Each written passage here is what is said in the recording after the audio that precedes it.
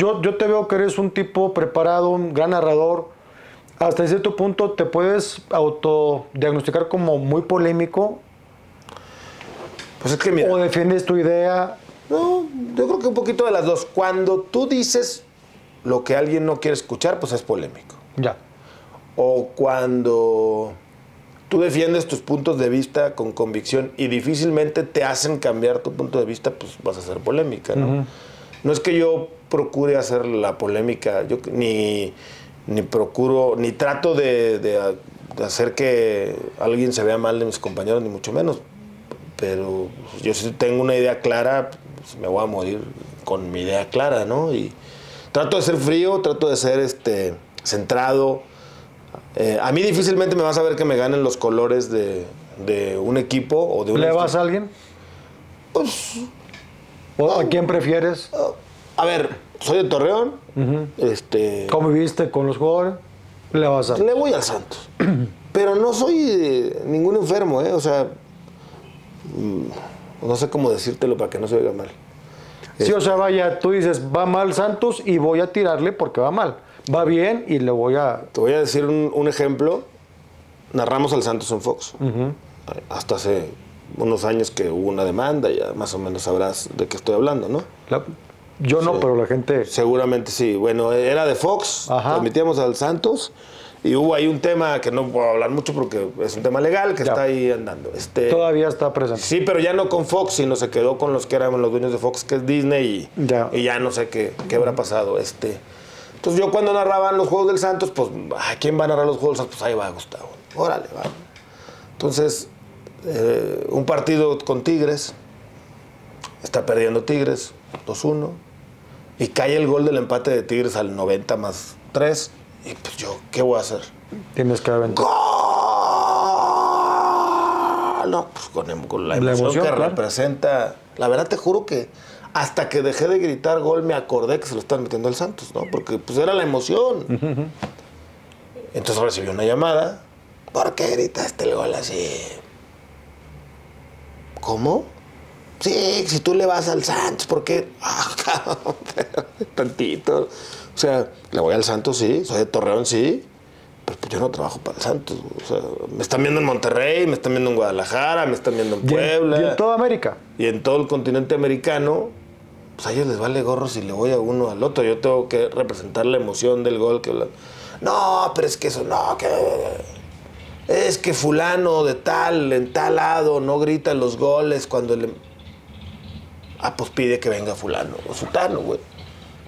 Tan fácil, yo voy a gritar mis goles de local y de visitante, así sea a favor del Santos, del Monterrey, del Tigre, del Toluca, de Tijuana, de Chivas, del América. Igual, si es un momento emotivo más, ¿cómo no? Sí. Entonces, este, es algo que yo sí he hecho mucha énfasis toda eh, mi carrera. Ya he narrado, pues, no te digo, narré Liga Premier aquí en Fox, narré seis años. A Bundesliga, eh, en su momento Serie, Serie A, Liga Italiana, CONCACAF, Libertadores, Sudamericana, Liga, Liga Femenil, Liga de Expansión, Europa League, Champions, este... Y siempre he tratado de, de mantenerme en el mismo criterio, eh, incluso con los con los, pro- los partidos o los equipos que seguimos teniendo en Fox, que ahorita son Pachuca, León, Monterrey. Monterrey, Tijuana, Querétaro y Juárez, son seis. Si le meten gol al local, a mí me vale gorro, ¿eh? Oye, que le metieron gol al Pachuca, pues ahí discúlpenme, gol y me vale sombrilla que si Que otros ese, ese acuerdo comercial. si otros lo hacen o no lo hacen, pues arréglense con ellos. Yo soy un y que quede claro que incluso por intereses de la empresa donde estás, no te marcan línea de decir, oye, No. tenemos acuerdo comercial con León, nárrale más o suave. No, a mí jamás me han dicho, oye, este, no le tires a León, o no le tires al Pachuca, o no le tires a Tijuana. Yo he hablado de la multipropiedad diez mil veces y aquí hemos tenido equipos de multipropiedad y seguimos teniendo y he dicho que es reprobable y que ojalá y los Martínez vendan uno de los dos equipos y lo vuelvo a decir sin ningún empacho como lo digo todas las noches en la última palabra. Claro.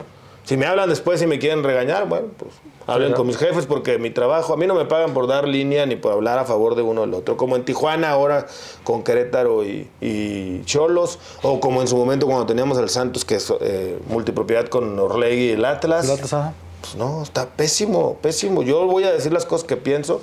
Si algún día llega un jefe y me dice que no diga lo que pienso o lo que yo veo, pues entonces creo que Ah, sería, más fácil dejar mi trabajo. Bueno, no sería fácil dejar mi trabajo, pero si te, si te limitan la, si te cuartan la libertad de expresión, pues no se vale. ¿no? Así sin pensarla, ¿cuál ha sido tu gol favorito que hayas narrado? Un Manchester City, Manchester United en la última jornada de la liga inglesa en el torneo del 2010. Un gol de Carlos Tevez que termina marcando sobre la hora y que le termina dando el título de la liga inglesa al City sobre el United, del archirrival de la, de la Liga Premier. De la Liga Premier, ahí sobre la hora. Ese y... Es que sí ha, sí ha habido varios, pero ese ha sido uno de los más claros, así más. ¿Cuál otro podría ser? Los de, los de Chivas en la final, me tocó na- narrar la final de la Copa con- de la Liga de Campeones de la CONCACAF. Narré la final en Toronto y me tocó gritar los goles de Chivas. Eso por una final. Este. Pues yo creo que por ahí, por ahí más o menos, por ahí pueden ir. Por último, ¿crees tú que en esta, ahora sí como dicen, industria, me gusta esa palabra, ha habido personajes que se han comido a la persona?